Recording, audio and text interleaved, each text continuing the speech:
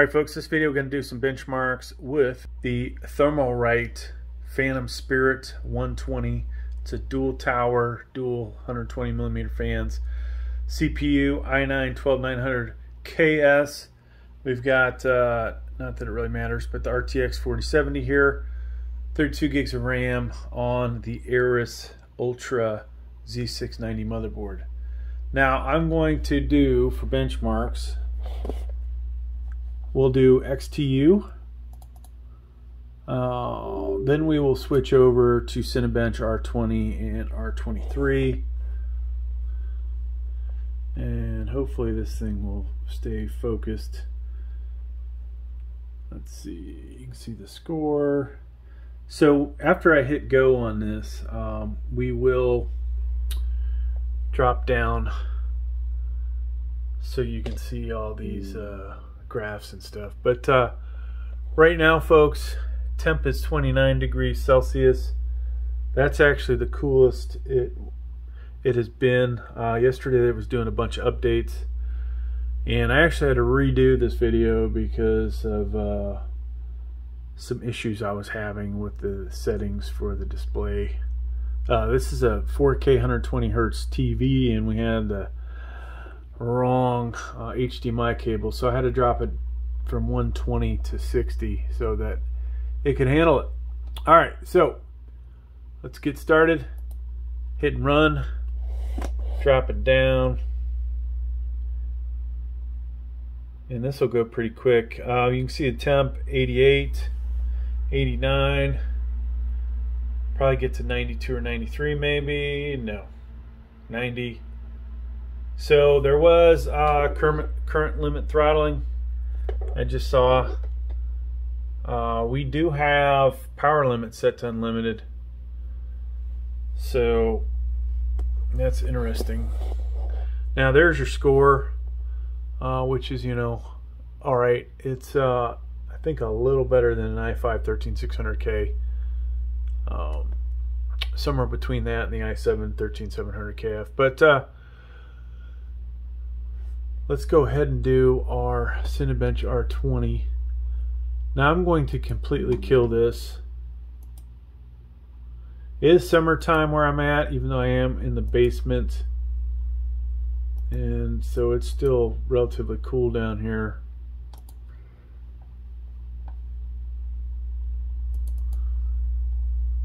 And now yesterday we did, we actually did some Fortnite, but um, I put out a video so you guys can check the temps there. I did all of the settings from low to epic and we'll probably do some more games. Alright, let's also open up hardware info 64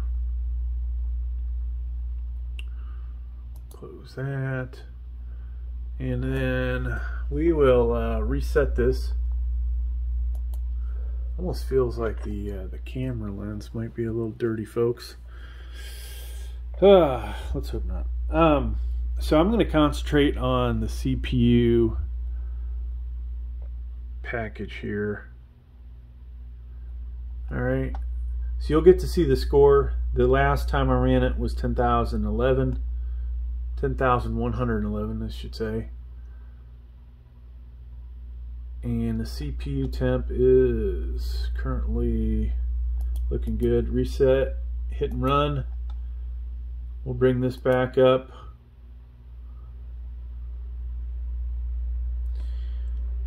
Now you should see power. Yeah power usage is gonna get up there. 278 so far temps at 90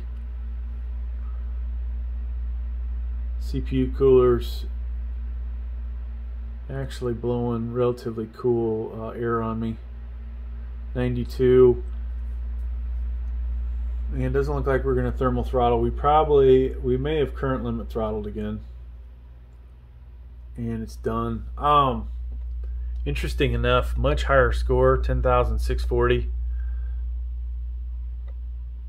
maybe it's you know nice and warmed up. I don't know so we'll let this cool off And then we'll get uh, Cinebench R23 up.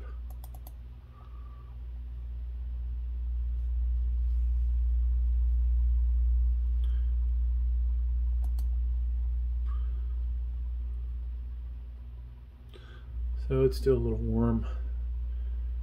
I doubt we'll get back down to 29 degrees Celsius, but um, if it'll stay, looks like it's going to bounce around. So last time I ran this, it didn't even, uh, it did not keep the score. It was, uh, I think, 26,000. All right, folks, so let's go ahead and run this. We're just doing multi-core.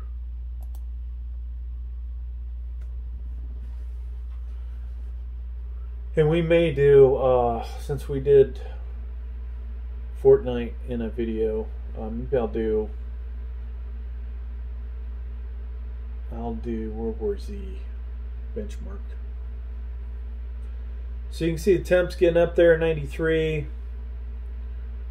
Doesn't look like it's going to get any higher though. 94. Okay, the score has popped in. So we have a new, I don't know if it's a new high score, but uh, at least for this. Uh, power usage got up to 285, or 287, sorry. So not, uh, that was quite a bit of juice being used up.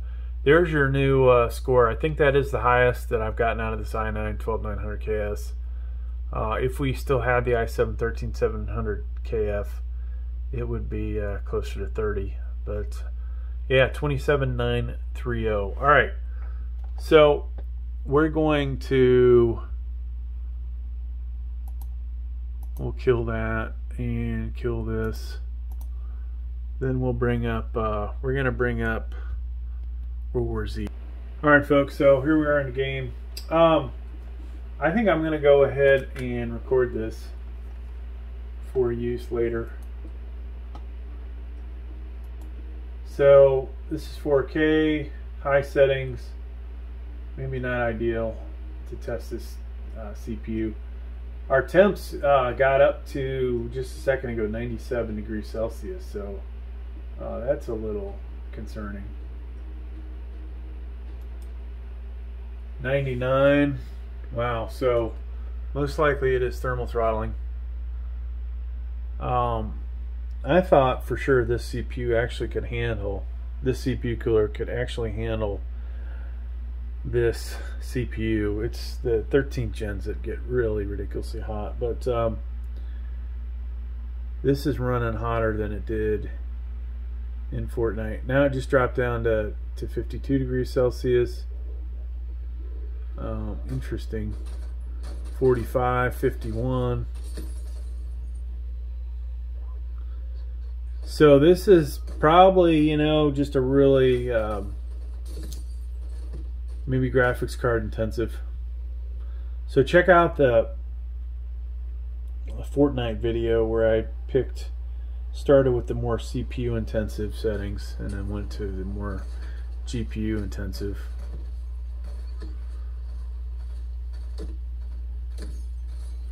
But so I mean for this setting, this graphic, this CPU cooler is fine, right?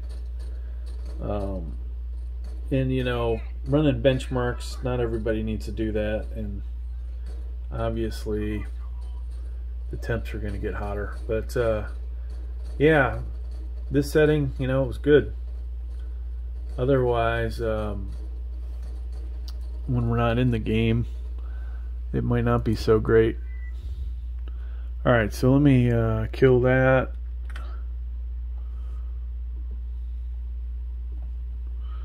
And then I'm going to escape out of here. Um, yeah, so that's going to do it for the video, folks.